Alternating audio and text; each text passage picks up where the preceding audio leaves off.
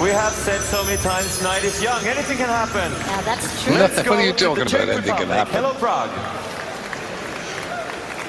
Smile, for goodness sake. From Prague. That's a bit frightening. We frightening. are happy to be with you for the first Oh. time. And congratulations for the wonderful show.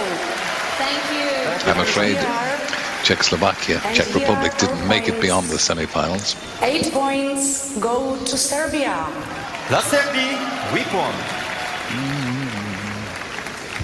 Ten points go to Armenia.